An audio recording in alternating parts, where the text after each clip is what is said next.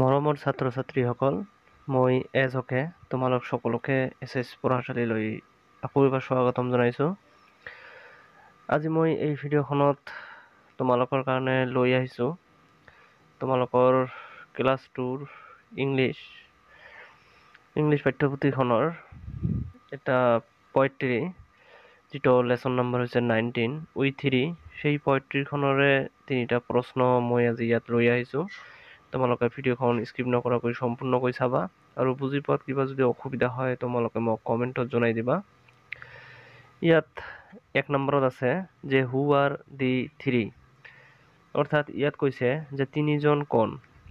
ইয়াত তোমালোকে এনচাৰত লিখিবা my echo' my shadow' and me are the three অৰ্থাৎ এইটোৱে কৈছে যে মোৰ প্ৰতিধ্বনি মোৰ চাহ আৰু মই।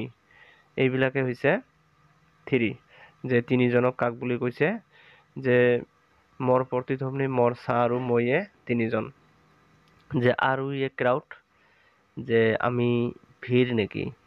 ইয়াত তোমালোকে এনচাৰত লিখিবা, ন মানে নহয়, we are not a crowd যে, আমি ভিৰ নহয়। তিনিত আছে যে, can we three be separated from each other? অৰ্থাৎ এইটোত কৈছে যে, আমি তিনিক ইজনে সিজনৰ পৰা পৃথক কৰিব পাৰোঁ নেকি?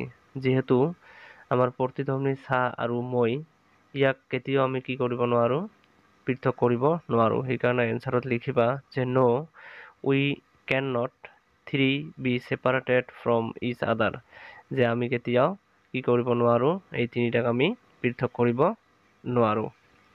এই তিনিটাই ইয়াত প্ৰশ্ন দিয়া আছে তোমালোকে প্ৰশ্নকেইটা নোট কৰি ল'বা আৰু কিবা অসুবিধা হ'লে মোক কমেণ্টত জনাই দিবা। তোমালোকে মোৰ ভিডিঅ'খন শেষলৈকে চোৱাৰ কাৰণে ধন্যবাদ।